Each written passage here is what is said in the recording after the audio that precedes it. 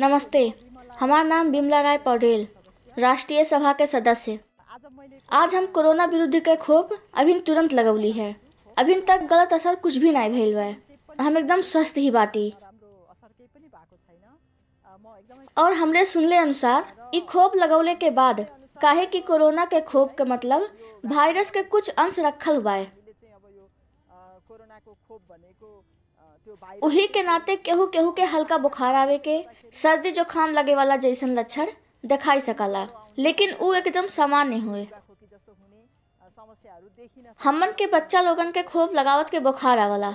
उही के नाते बड़ा मनइन के बुखार आई गईल तो घबराए के ज़रूरी नहीं पाए सरकार इतना ज़्यादा धनराशि भी खर्चा कैले बा बहुत प्रतिबद्धता के साथ सब नागरिक लोगन के खोप पहुंचावे के खातिर ई अभियान में सरकार लागल बाय।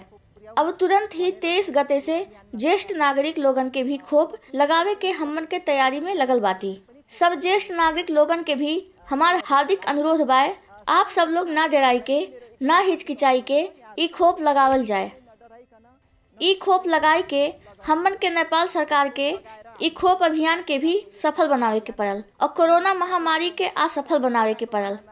एहमे हमन के सब जने लगल जाए हम भी अनुरोध करे के चाहती। धन्यवाद।